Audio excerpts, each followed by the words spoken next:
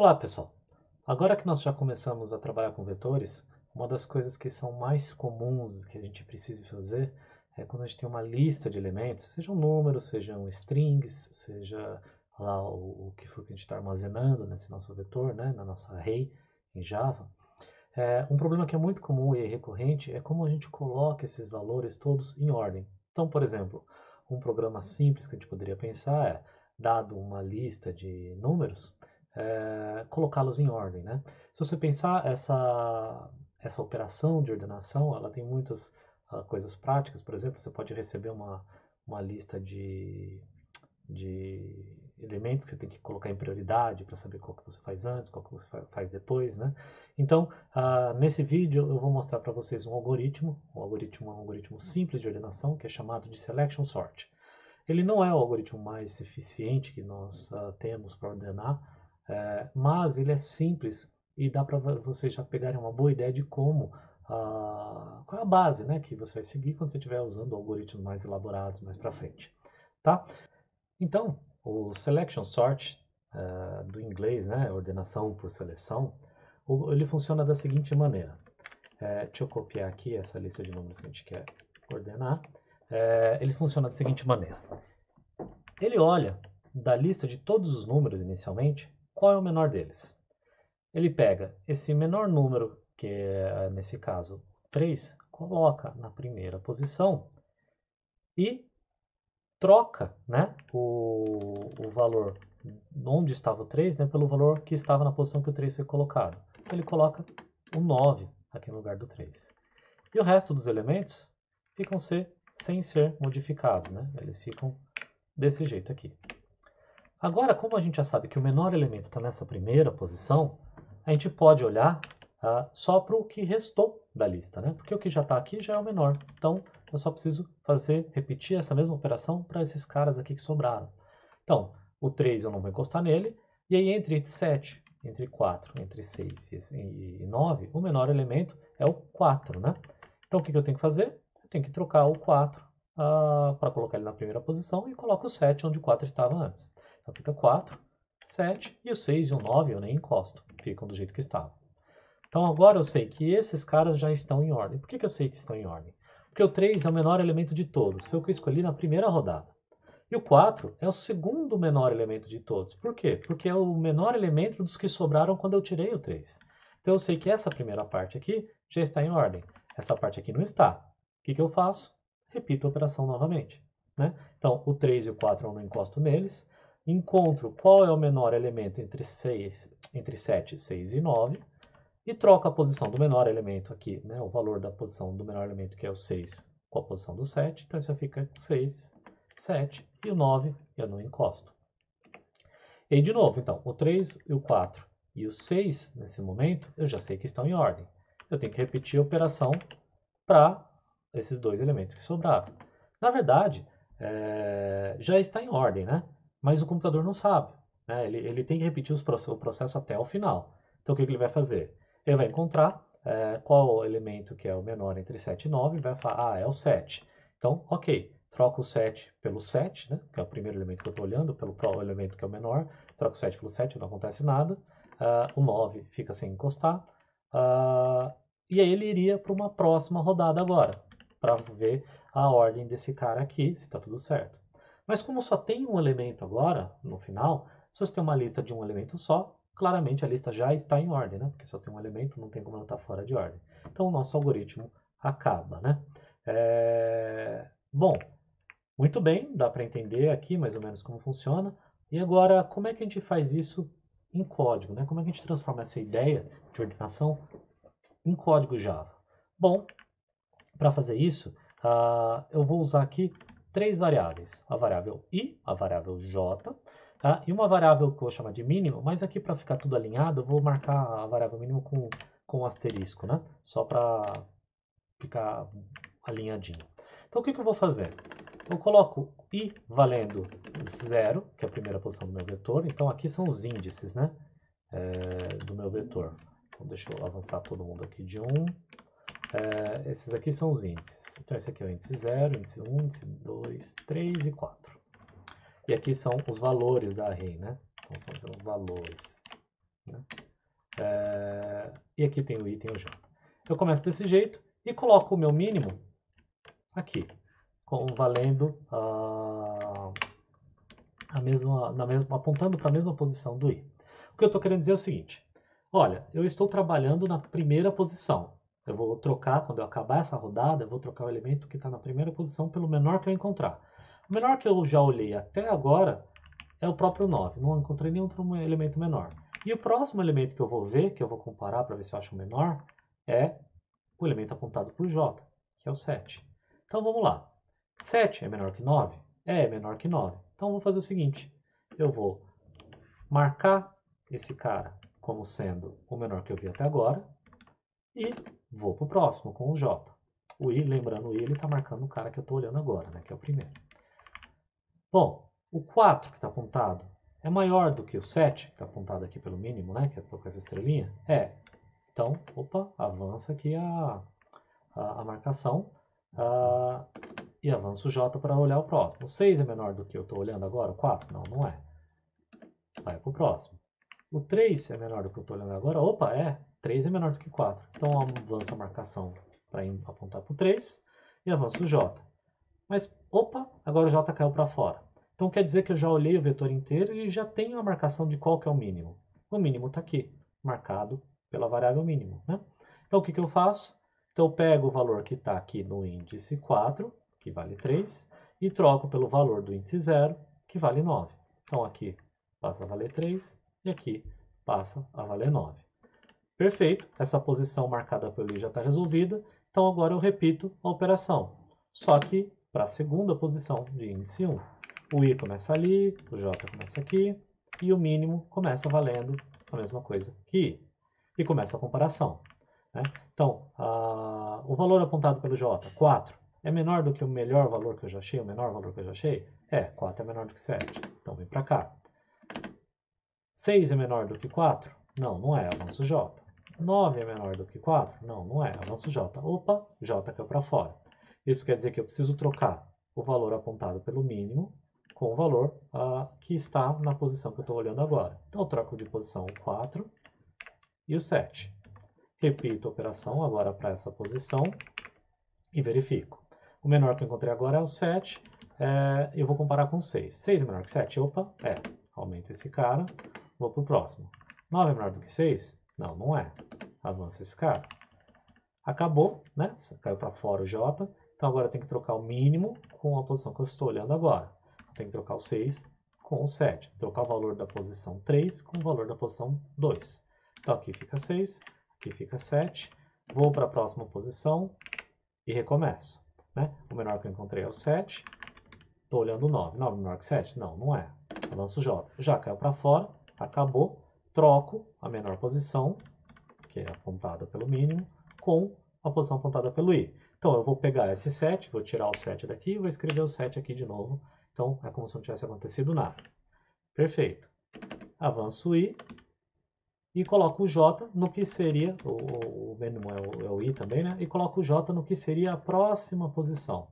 Não, mas a próxima posição não existe, já acabou. Então, eu trocaria, vamos dizer assim, o mínimo com ele próprio, eu tiro o 9, coloco o 9 aqui de novo, não muda nada. O I avança, caiu para fora do vetor e acabou.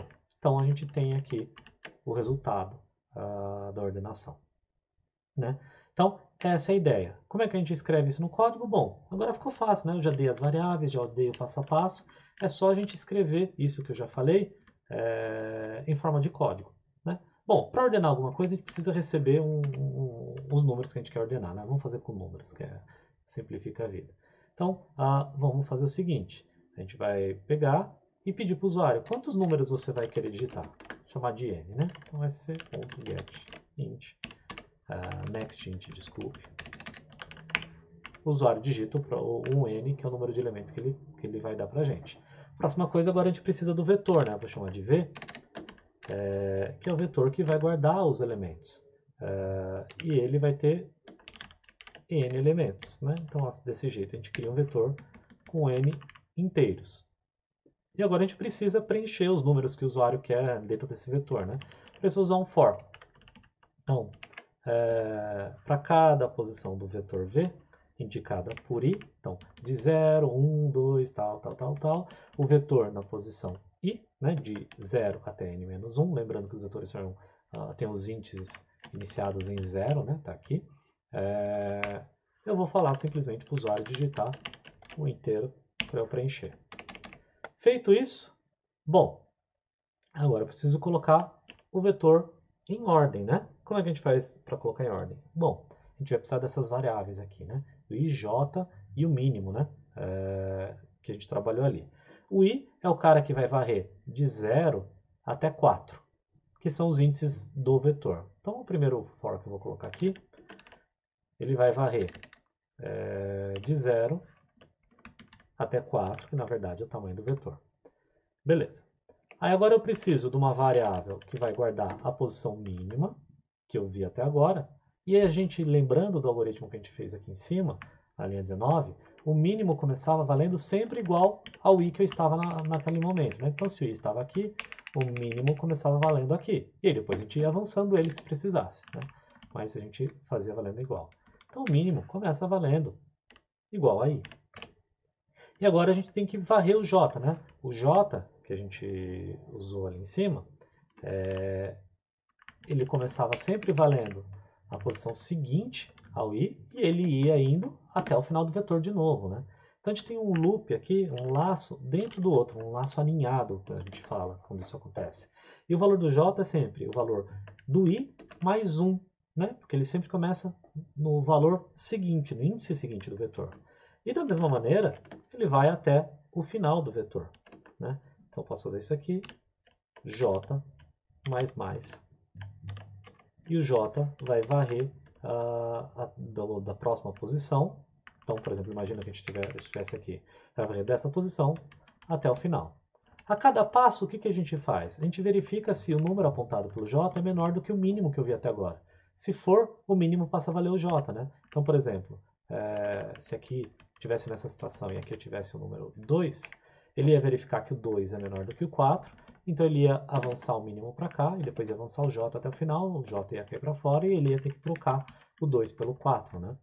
Então o que eu vou fazer aqui é basicamente verificar se o valor do vetor é, na posição apontada pelo mínimo é menor do que, é, ou na verdade, né, se o valor do vetor apontado pela posição j é menor do que o valor apontado pelo mínimo. E para isso a gente usa um if, né? Então, se o valor apontado pelo j né, for menor que o valor apontado pelo, pelo mínimo que eu conheço nesse momento, se isso for verdade, então uh, a gente troca, né? O mínimo passa a valer igual a j. E a gente vai até o final do vetor fazendo essa comparação. Bom, acabou o j. O j caiu para fora, né? Como a gente fez aquela durante manualmente ali. O que, que eu faço? Bom, nesse caso, então, agora eu tenho que trocar. O valor que está apontado pela posição I tem que ir para o valor apontado pela posição mínimo. Só que eu não posso pegar o mínimo e jogar para cima desse, ou esse para cima desse, porque um vai sobrescrever, né? Se eu, por exemplo, copiar o 4 e jogar por cima do 2 aqui, eu perdi o 2. Então eu tenho que guardar isso numa variável temporária. Então o que, que eu vou fazer? Vou criar uma variável temporária aqui. Essa minha variável temporária vai fazer o seguinte, ela vai guardar o valor do vetor na posição I, temporariamente, né? Depois, o valor na posição I, que eu já guardei o valor dele, vai receber o valor na posição mínimo. Então, nesse momento, o que está acontecendo aqui é, esse cara está assim, né? Eu peguei esse valor e copiei por cima. Mas eu tenho uma outra variável aqui que eu chamei de temp, que está valendo o 4 que eu tirei de lá, né? É, então, eu tenho que colocar agora o 4 na posição definitiva dele. Então, V em mínimo, recebe a variável temporária.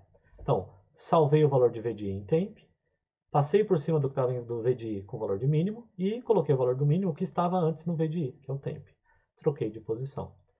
A hora que ele sair desse laço aqui, né, do laço, esse laço aqui, quer dizer que ele acabou a execução, uh, e aí nosso vetor está em ordem. Né? A princípio, a gente não precisaria olhar a última posição aqui, né, igual a gente fez na mão, né? Mas tudo bem, uh, por questão de simplicidade, a gente pode deixar desse jeito, isso não vai fazer grandes diferenças uh, no tempo de execução. Agora a gente precisa imprimir o resultado né, para saber se, se funcionou. A gente pode fazer um for de novo, indo de 0 até n, eu vou fazer o seguinte, vou fazer um print é, f aqui, porcentagem b, para imprimir é, um número, e um porcentagem caractere aqui. A gente vai usar o mesmo truque que a gente fez no exercício anterior, né, de separava as letras das palavras, né. Então, o que eu vou imprimir como o valor vai ser o valor do vetor na posição i, né. Então, eu estou varrendo de 0 até n, né, menos 1. E depois, o valor do caractere que eu vou colocar ali, ele vai ser, então, se o i for igual a n menos 1, quer dizer que é o último, né? É, é o último cara que está sendo executado. Então, se o i for igual a n menos 1, vou colocar parênteses aqui para deixar claro qual que é quem vai rodar. Quer dizer que ele é o último. Se ele for o último, então a gente vai imprimir um barra n, né? uma quebra de linha. É, opa, não é, não é aspas duplas aqui, é aspas simples, porque é um caractere, né? não, é um, não é uma string. É, se não, caso contrário, eu vou imprimir um espaço, né? para os números ficarem espaçados. Ok, acho que temos o suficiente agora para fazer um teste, então vou criar aqui um terminal para a gente rodar. É, vamos tentar compilar esse cara, ver se está tudo certo. Então, vamos ordenar, o Java ordena, ele compilou. E agora a gente pode testar com, o mesmo, com a mesma entrada que a gente usou né, é, para fazer o nosso teste. Se para essa entrada já não funcionar, tem alguma coisa muito errada. Então vamos ver aqui. É, Java ordena. Aí ele pergunta para a gente, a primeira coisa é quantos números eu vou digitar? Vou digitar cinco números. Muito bem, então é 9, 7, 4, 6 e 3. E aí ele está dizendo aqui que houve um problema de conversão aqui, né? Ele está dizendo que isso aconteceu aqui na nossa nosso código, na linha 46. Vamos ver o que pode estar tá acontecendo aqui. Ele está reclamando aqui, ó. Ele está dizendo que eu estou passando é, uma coisa para o C, que deveria ser um caractere, né? E eu passei uma string. E se a gente olhar aqui, olha só. De fato, aqui eu até passei um caractere, mas aqui eu passei uma string, né? Um negócio esquisito, né? Isso aqui está errado. É, então, pronto. Agora sim. Agora estou passando um caractere quebra de linha, caractere é, espaço. Engraçado que eu cometi o erro aqui e recometi o erro aqui depois de corrigir o primeiro. Né? Vamos lá então agora. Recompilamos. Vamos executar. Eu não lembro mais ah, os números. Prontos, estão aqui. Então, uh, vamos rodar. São cinco números. 9, 7, 4, 6, 3. 3, 4, 6, 7, 9. Como a gente já esperava, né? A gente pode testar alguns casos extremos, né? Então, por exemplo, eu posso dizer, eu quero, eu quero ordenar zero números, né? É, o que acontece? O, problema, o programa simplesmente termina, porque ele não vai ler nenhum número, porque são zero número, e não tem que imprimir nada, porque também são zero, é, é, é zero número, né? Então tá tudo certo. Uh, outro caso que a gente pode testar é quando a gente vai digitar um único número, né? Uh, e parece que ele funciona. Com o número também não tem nada para fazer, já está em ordem. Né? A gente pode testar aqui com, com outras entradas, por exemplo, sete entradas. Então, vou botar uns números uh, diferentes aqui. É, números negativos, por exemplo, para ver o que acontece. É, então, menos 2, 0, 1, 5, 14, 37, 87. Né? Então, está aqui uh, um primeiro exemplo de algoritmo de ordenação. É, esse algoritmo é chamado de Selection Sort. O coração dele essas, são essas linhas aqui que estão marcadas em azul. É, ele não é o algoritmo mais eficiente que nós conhecemos, mas é um algoritmo bom uh, para o que a gente vai fazer em seguida. Tá legal? No próximo vídeo a gente vai usar esse algoritmo para resolver um outro problema. Até lá.